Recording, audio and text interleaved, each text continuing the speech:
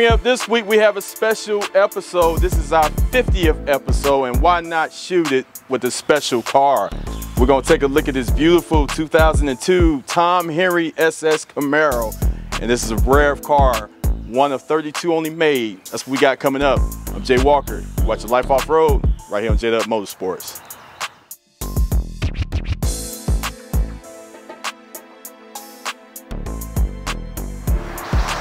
Welcome to another episode of Life Off Road. Thanks again for hitting that play button, folks. And remember to go to my YouTube channel, hit that thumbs up button, and subscribe. Really helps out the channel.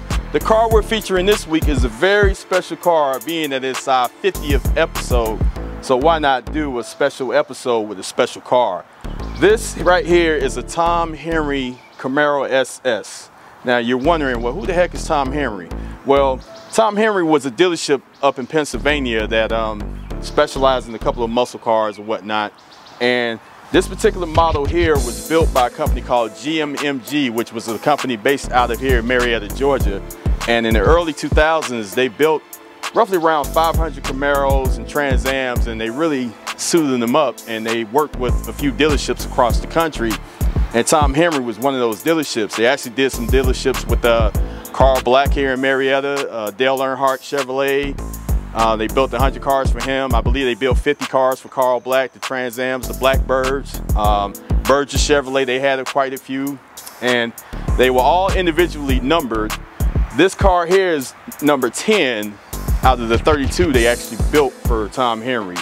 I believe Berger Chevrolet had like 100 cars, Dale Earnhardt had 100 cars and the whole nine, but it's a very fascinating story about GMMG because when you seen one of these cars in the early 2000s, these weren't just any regular Camaros. I mean, these were all suited up from 380 horsepower all the way up to 680 horsepower, all naturally aspirated. There was no superchargers.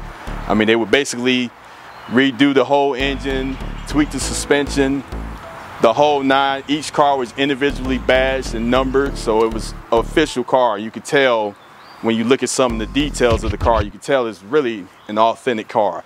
But I came across this car, I was out on vacation last week and I was doing some home improvements around the house and I happened to go to my local Home Depot and I saw this car out in the parking lot and I was like, hmm, that car looks very interesting. And as I got up closer to it, I saw the Tom Henry window header and I saw number 10. I was like, whoa, this is a GMMG car. I got to find out who owns this car.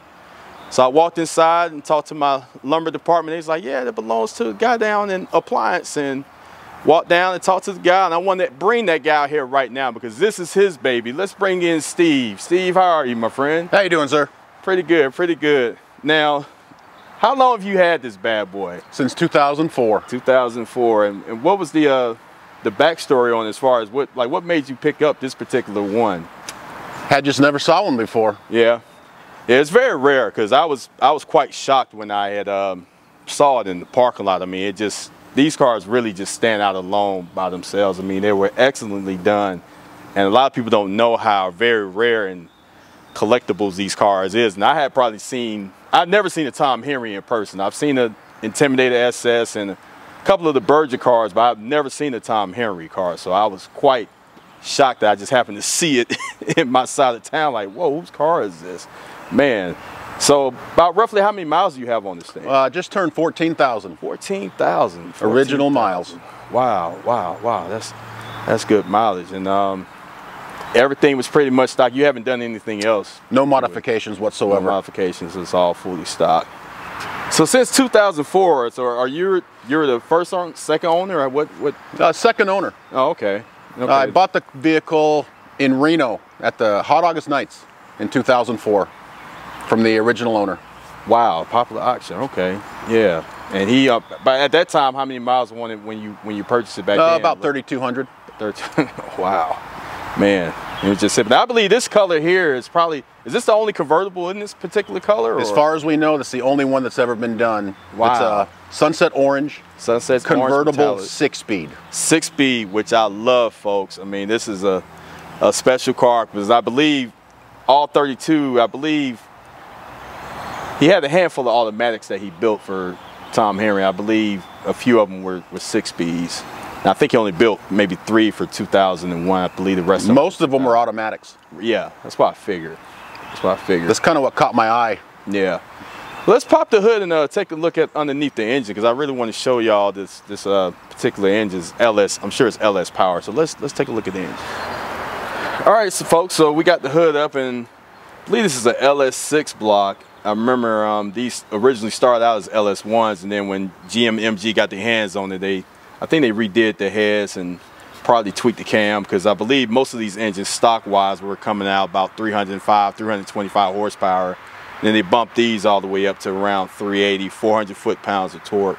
So it's a very strong car. 10 to 1 compression ratio. I mean, it was it was it was a beast.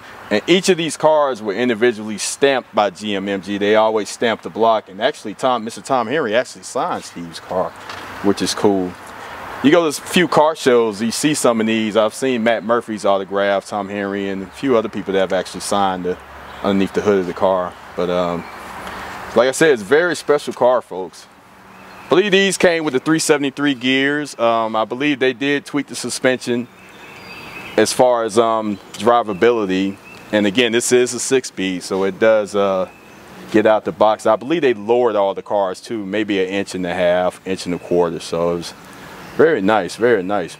How often you get to drive this thing? It's my daily driver.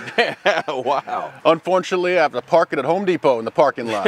kind of makes me nervous. but it's not it's not quite a bad daily driver. You get to drive to work every day in a nice hot rod. I mean, especially with this color. This is one of the prettiest colors I've seen in this car, man. The sunset orange metallic. I mean, it's such a, a pretty car, you know.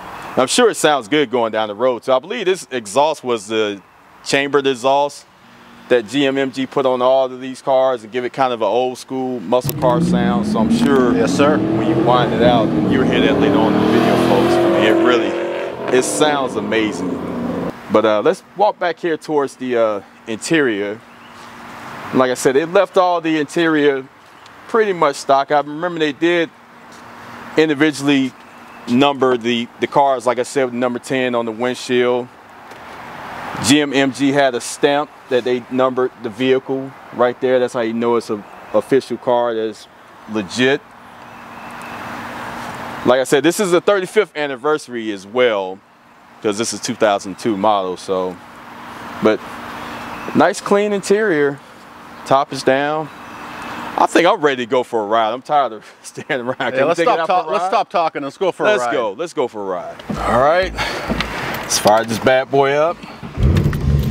Man, starts right up. Man, this is a treat, Steve. I, I, I, really appreciate you letting us do this. Man, I love these cars. This thing handles like you can. Yeah, I know it does. It's tight, boy. Yeah. They did all that, man. They basically built a street raceable car GMMG did with all yep. these cars. I mean, they really did an excellent job. Kind of like when they stopped producing the Camaros and Firebirds back in 20, 2002. Yep. And they they came out with these. I was like, man, everybody wanted to get their hands on one of these, but oh yeah, people were gobbling them up. Cause like I said, only dealership here was selling them was Carl Black, and they was doing the Blackbirds. Yeah. Trans Ams. They only built 50 of those. I think they built like 25 of the, the yellow yep. Trans Ams. Oh yeah. Collector editions, and that was it. That was it. All right, here we go. We're in the Tom Henry SS, folks, and this is a treat, man. Beautiful, humid day here in the A, but it's not bad. We'll make out. Got my main man. We'll Steve be all here. right. Yeah. This is his beauty, man, and can't help but have the top down on a beautiful day like today, man. Like I said, GMMG, they really, they they they was on to something building these cars, man. Oh, I yeah. mean, you know, when I saw Dale Earnhardt jumped in the midst because he he demanded that he wanted a hundred of these built. Yep. And then Tom Henry and Berger and everyone else jumped joined the mix and like I said, I knew where that warehouse was. I had been there a couple of times. All right. And it was like I said, very secluded, but they was building it was so secret. It Yeah. was a plain looking barn Sure. like warehouse, and they had a Incognito. fence, and you you like, what's going on in there? They didn't even have a sign saying what it Yep. was. It just had the address and some other business name, but you go inside and that's where you saw all the magic, man. It was amazing to see. You just saw all these cars just parked out back, and they was all of them painted, numbered. Oh, Some yeah. of them had the. They was going to work, man, and I said, man, hopefully Uh, one day I can try to get my hand on one of these. You never driven one of these? No, it's my first time. Holy First time driving a GMMG car. Yeah. Holy. Yeah. Yeah, it's my first time. I've driven plenty of SS's. My Z28, I have a 98 Z28, and Yeah. I was going to buy a, um, a 2001 SS a while back, but I got such a good deal on my Z28. Yeah. Like I said, back then when I was looking for one of these, they, I mean, they were expensive. Yeah. They're collector cars, so they was just, Yep. it was hard to get your hands on one of them. If you did, you was going to pay This should. out Yeah. yin yang Mhm. for 'em. Oh yeah. But I was like, hopefully one day, like I was telling you before, I saw they had an Intimidator SS somewhere in Chicago. I believe it's car number Mhm. seven. Yeah. And it's, I think it's probably on its second owner, but Yeah. I believe this particular car dealership has it. I think they want like 60 grand for it, but I'm like, Yeah. That. That's just. It's too much to be honest Yeah. with you. I was like, man, and, and, then, and then it's a hard top. It's, it don't even have the T tops. You know, Yeah. uh, No, see, it's just a hard top, yeah. Yeah. Most of the cars I noticed were just hard tops that he. Yeah, a lot of those were, I believe, they made a few T-tops. Yep. I know Dale did not want a car number 13, Yeah. so I think Matt Murphy actually built himself car number 13, a convertible for himself. Okay. It's the only convertible, the Intimidator SS, kind of like this, Okay. that's out. But I see uh, you're in fourth gear. yeah, I see shit shift, yeah, second and third. Yeah, my car used to have that if I was only going so fast. The skip shift came in these cars, folks. It was trying to help save on gas because I believe these cars had you could get almost 30 miles to the gallon on the highway. Absolutely. In sixth gear, you yeah, can. yeah. It was um, it was a rare thing. I mean, you you wouldn't burn any hardly any fuel at all. Hardly no fuel, but that was their thing, you know. And of course, six gears, your your cruise gear. This thing drives excellent, Steve. I Yes, it's- you can tell the way it sits, the car feels tight, but I mean, it's this thing is built to go around the racetrack. Yep. They are so these the fourth generation cars, F bodies are so fun, man. That's why it's kind of hard for me to get rid of mine. So I'm still got Oh, a lot of work to to get it back going. No, this one's tight. I'll tell you. Yeah, man. And all these had the white gauges, the dashboard in here. You know, whatever dealership. I see Tom Henry's got his name on his. The white gauges. We're right at 14,000 miles. Like you said, low car.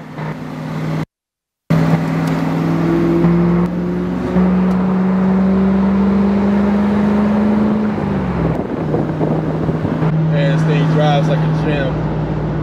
Oh, it drives like it's brand new. Oh yeah. Yeah. Yeah, it pretty much is. Yeah, it's barely even broken It's not in. even broken yet. yeah. Oh man. This is how it was, folks. You know, GMMG built these cars, you know, a testament to the old school, have the old school power. I mean, it was it was always something, man. They handled excellent. It didn't even matter if it was convertible or T-top top or hard top. I mean, these cars were built to run. And on top of that, getting get good fuel mileage.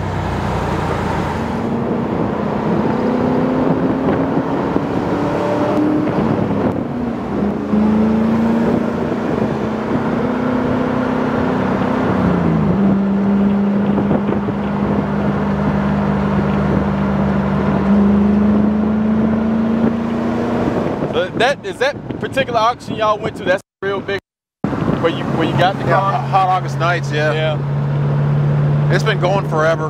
yeah. Then we used to go to Barrett Jackson too. Yeah. Oh yeah. One of these days, I'm gonna try to get out there to Barrett Jackson to see, check that out. I want to try him out too. Yep. You've been to Mecum?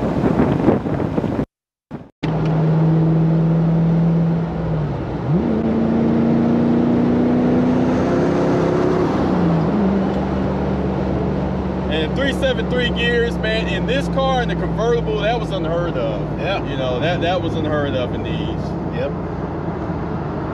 I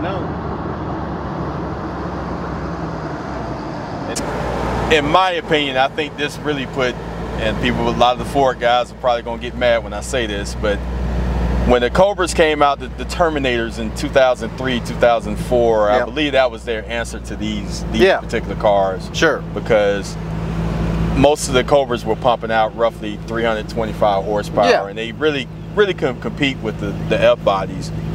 And I believe that was probably the reason why they went ahead and slapped the supercharger, but Yeah. they couldn't really compete with these at, Well, a, they- at a drag strip. No. And those were some strong cars, but oh yeah. they just didn't have the torque. No. The LS motor, you just, you just, it, it was no contest.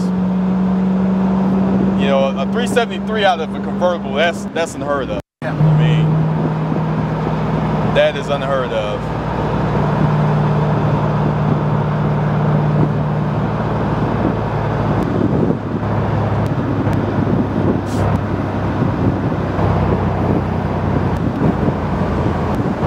Visibility was always pretty good out of here, even out with the hood scoop up front. I mean, Oh, it was you could see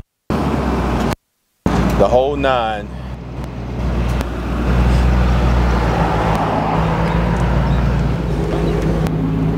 I'm glad you finally got to drive one Man, after all these years.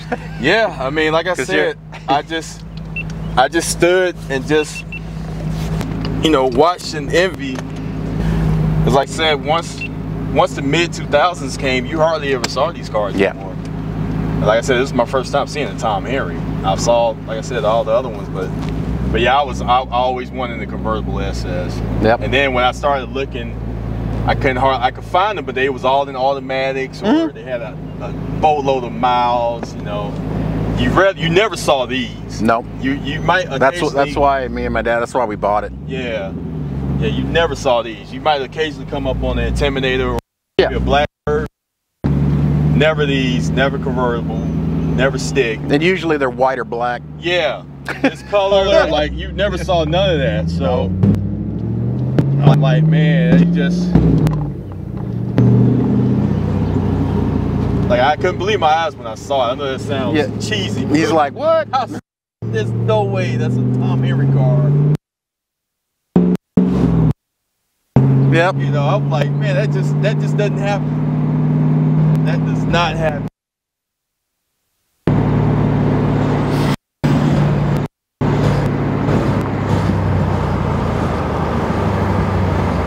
So you tried this thing one time, or how, how many have you actually? Uh, Have I what now? have you ever took it to the track, or just got loose? Nope, just it? the one time. Just that one time.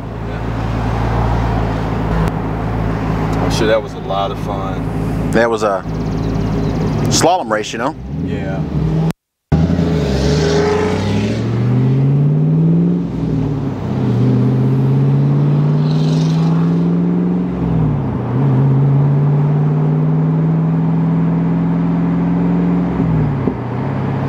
So you a lot of car shows. No, I drive it nine miles to Home Depot and nine miles back. Yeah.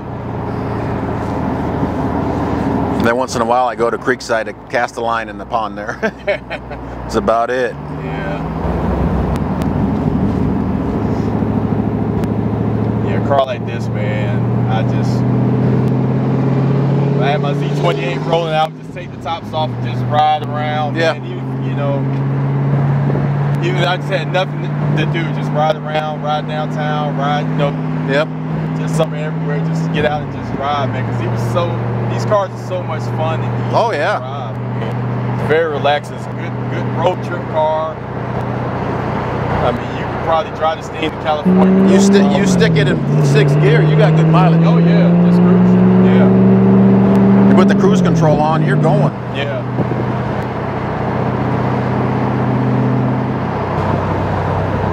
It's just cruises. I mean, it's just You get a lot of people trying. You trying to race all the time.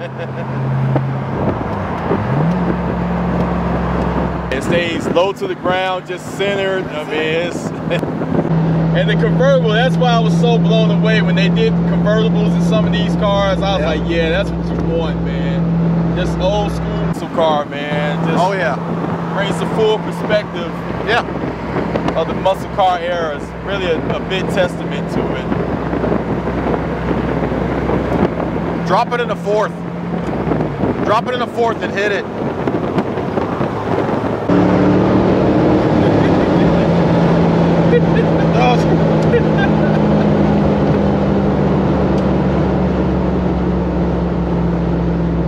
They don't take much. No, it doesn't. It's got good torque.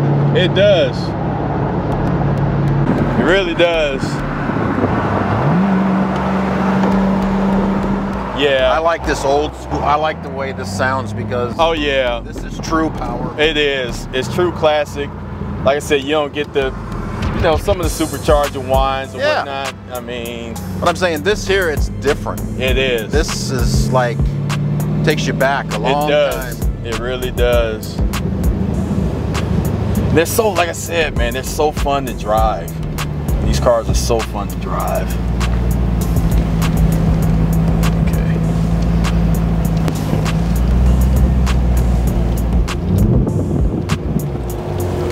Well, that's it for this week. I want to thank my good buddy Steve for allowing us to drive. This this is unbelievable, folks. I mean, y'all just do not understand how privileged and how special this car is, especially for the 50th episode. You know, go out with a bang. But it's an amazing car. You know, these GMMG cars were gems, and if you can ever get your hands on one of them, like as soon as we're done with this, I'm gonna go home, get on my iPad, see if I can find one, because I want one of these so bad. They're such a rare car. Let me give a quick shout out to my newest subscribers. We have a uh, Steve Joseph, also George Williams, got a Tam Thigh, Clarence Buffalo, and Dwayne Vincent. Thank you guys so much for newly subscribing and thank you to my current subscribers. Appreciate you guys spreading the word and we're really trying to grow this thing. Also, uh, go to my website, jaydubmotorsports.com, or you some t-shirts. Got uh, hoodies, tumblers. It's getting hot out here. You know, summer's approaching, so they help you keep you cool and whatnot. And um, shout out to uh, few people over in Australia. I was checking my website and I noticed I had a couple of people that have been kind of pinging me over in Australia. So shout out to you guys. And uh, also want to thank my help, my son Juwan and his buddy Kyle. They were my chase driver and camera guys today. You can follow them on their Instagram at Jedoc Juwan underscore DW. J-E-D-D-O-C dot L-L-C is his Instagram. Kyle's is no outlet photos at Instagram. And uh, follow me at JW Motorsports. We're gonna get on out of here though. That's all I have. And um, we see you guys next time. Later.